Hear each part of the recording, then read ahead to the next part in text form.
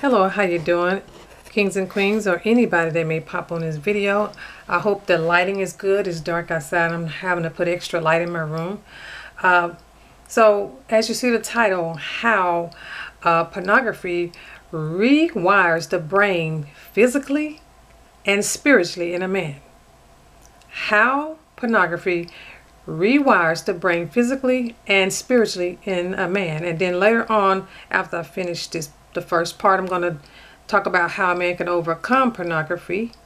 And I'm going to have Bible verses. Um, and then I'm going to have a website that, man, you can go and tap on or uh, put tap on the website and get you a free guide on how.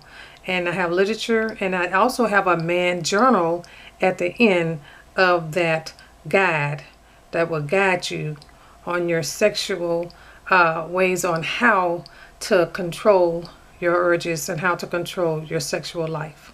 First, I want to start with how pornography rewires a man's brain physically, okay? And I have my notes. Pornography impacts the brain in a similar way to addictive substances.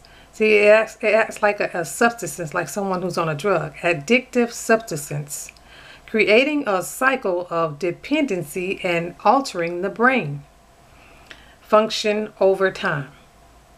Here's how. Dopamine release. When you watch pornography, your brain releases dopamine, a neurotransmitter associated with pleasure and a reward. This rush to dopamine creates a high, much like what happens when someone uses drugs.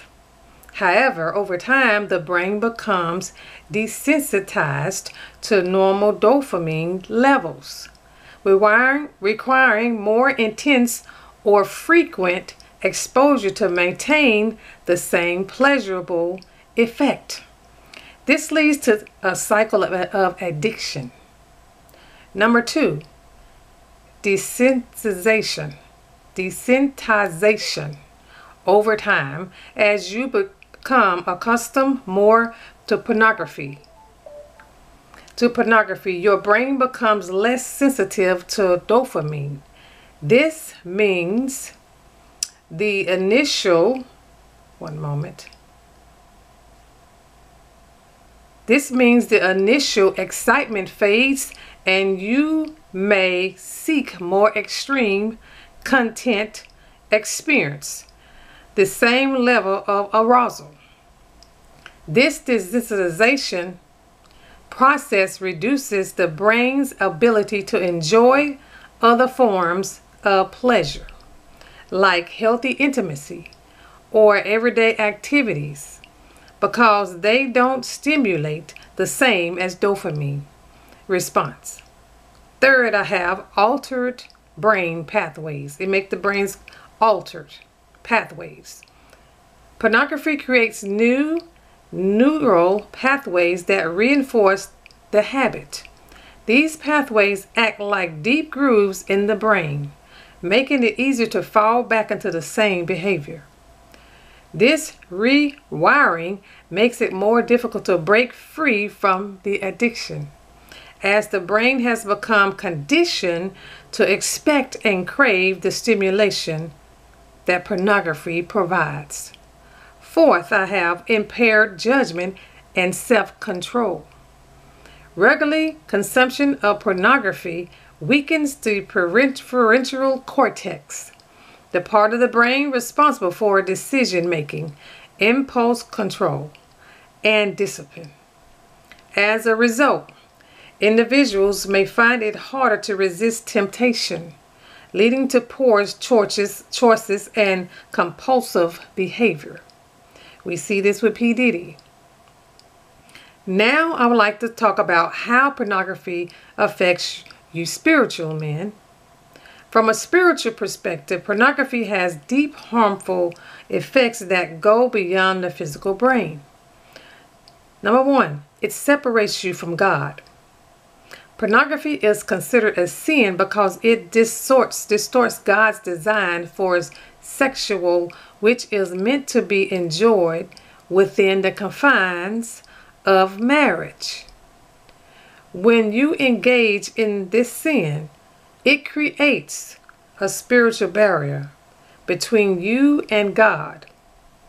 Sin brings guilt, shame, and feelings of unworthiness, and all of which can distance you from a relationship with God.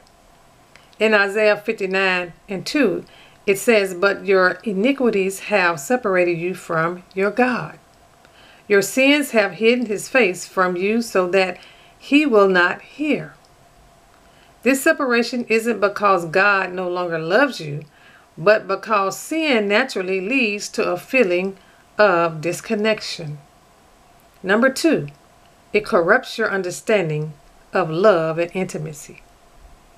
Pornography distorts the way of you view love in relationships. Instead of seeing sex as sacred, loving act between a husband and wife, it becomes a selfish lust driven pursuit. This distort how, distorts how you view your spouse or future spouse, seeing them as objects rather than people to love and honor. Spiritually, this affects how you engage in relationships both with others and with God. Ephesians 5 and 3 reminds us, But among you there must not be even a hint of sexual immorality, or of any kind of impurity, or of greed, because these are improper for God's holy people. Number three, it weakens your spiritual resolve. When you are caught in the cycle of pornography, addiction, it weakens your spiritual resolve to resist temptation. The Bible warns against letting sin take root in your life, as it will make you more susceptible to further sin. In Romans 6 and 16, it says, Don't you know that when you offer yourselves to someone as obedient slaves, you are slaves of the one you obey? Pornography can enslave you to sinful habits, making it harder to live a life that honors God. Number four, it diminishes your spiritual identity. Pornography attacks your sense of worth and identity as a child of God. You may feel shame, guilt, self hatred, believing that you are unworthy of God, God's love, and forgiveness. This can make it difficult to approach God in prayer or worship. Reinforcing feelings of separation, however, in Christ, your identity is restored. 1 Corinthians 6:11 says, "But you were washed, you were sanctified, you were justified in the name of the Lord Jesus Christ and by the Spirit of our God." It is important to remember that no matter how pornography affects you, spiritually or physically, God's grace is always available to heal and restore you. So we see in this summary it, pornography rewires the brain by creating addictive cycles that desensitize pleasure and it distorts relationships and weaken self-control. Spiritually, it dis- distances you from God, corrupts your understanding of love, weakens your spiritual resolve, and can diminish your sense of worth.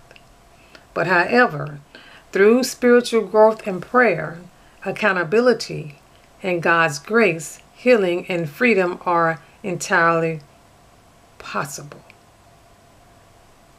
Next, I want to go down, people of God, or anybody who pops on this video, I want to speak next regarding on um, another part of this video on men how you can overcome. Now this is, I have my notes written down here on my phone. Give me just a minute. On how you can break free. I have scriptures on how you can break free. I will list them at the bottom of the description in the my YouTube channel. Okay? But next, I want to talk about overcoming um, unpractical ways. I think I might have this at the bottom. Just give me just a moment. I apologize.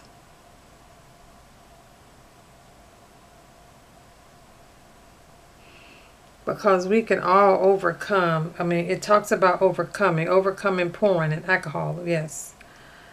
You know, uh, pornography is an addiction like an like a drug or alcohol. And a lot of people don't understand it. It's actually worse than alcohol uh, because it is um, a spirit. You can't you can't you can't quench that thirst of the lust that's inside of you, man.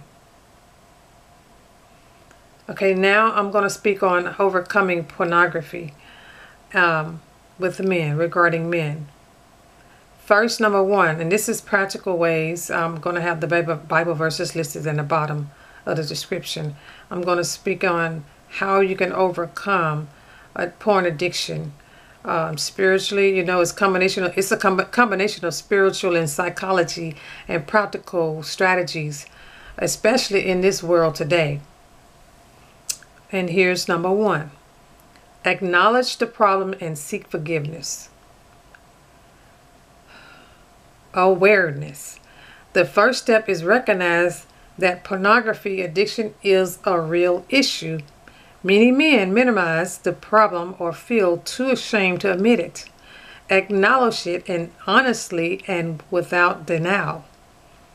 Next, seek God's forgiveness for Christian men. Understanding an addiction to pornography is a sin against God's design for purity is critical.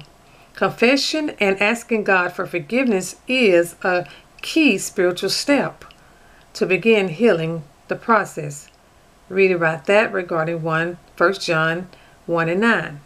Number two, understanding the uh, physical and psychology impact. Rewiring the brain. Porn addiction rewires the brain re reward system, causing desensitization to normal pleasure in creating a need for more explicit content to achieve this, the same level of excitement. Negative effects. Porn addiction can damage relationships, hinder spiritual growth, and cause anxiety, guilt, and shame. Recognizing these effects help create urgency for change. Number three, build a strong support system. Accountability partners. Find a trusted friend, pastor, or mentor to act as accountability partner, sharing your struggle with someone who understands and supports you in your journey and crucial that it is crucial. Support groups. Consider joining support groups such as Celebrate Recovery or Pure Desire, which focus on healing from sexual addictions. Online platforms. Number four, create practical boundaries and remove temptations mean install filters. Use internet filters or account for accountability software like Covenant Eyes. Accountability to number two to you. Covenant Eyes uh, and accountability number two the what the letters Y O U or quest questio quistodi Dio, I'm sorry, it's spelled Q-U-S-T-O-D-I-O. These tools monitor your online activity and send reports to your accountability partners. Limit access if certain apps, websites, or devices trigger temptation, remove them or put strict limitations in place. For example, keep your phone out of the bedroom or avoid using the internet late at night. Next, replace idle time.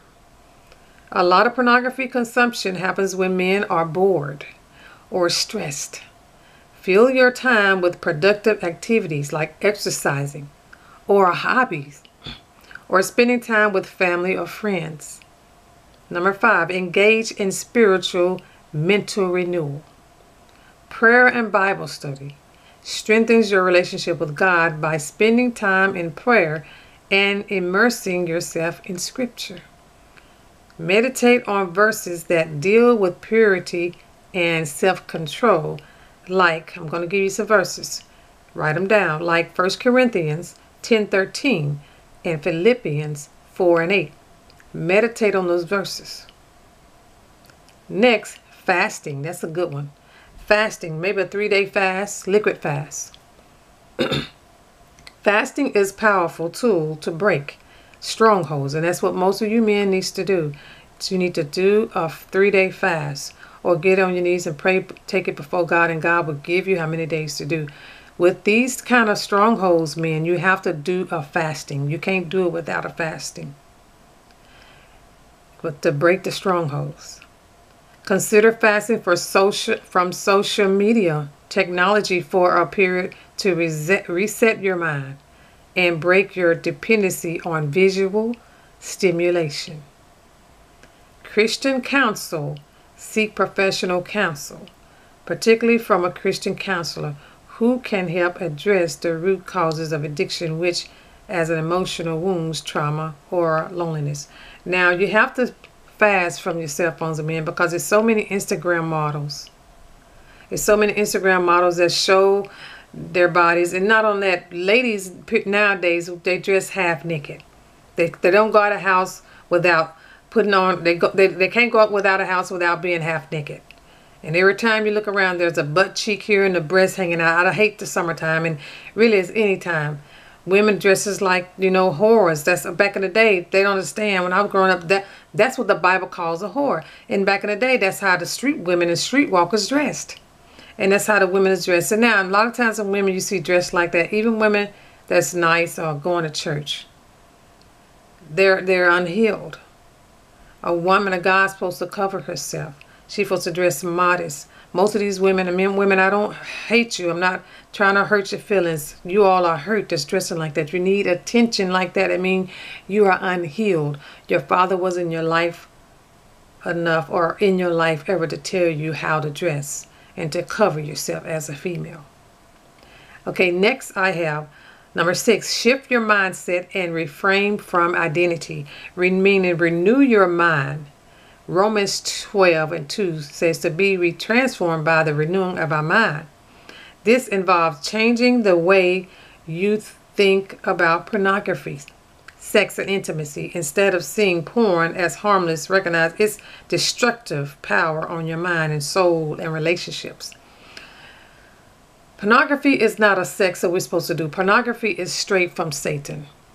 The, the correct way to have sex is the man on top, like Adam and Eve, and, and the woman under the man face to face. Because back in the Bible days, that's the correct way. Because back in the Bible days, to know before the man married the woman, to know that she hadn't been with a, been with another man, they had to get when they when they when they had sex. They, they came together after the marriage.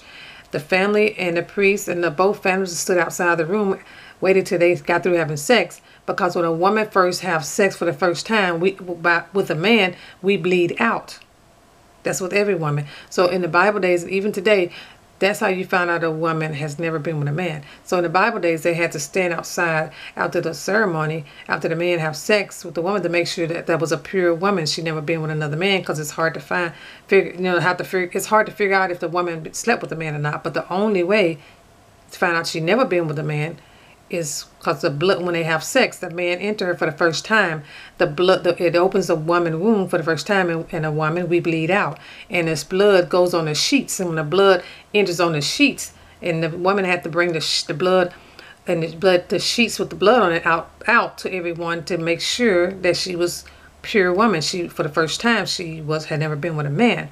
And that's how it uh, is, was done in the Bible days. When it lets them know that woman, he was marrying a woman that was pure. She was a, uh, she was uh, a virgin. To, uh, you know, so that's how they figured those things out in the Bible. If she had not bled out, they would have stoned her because they would have known she'd been with another man.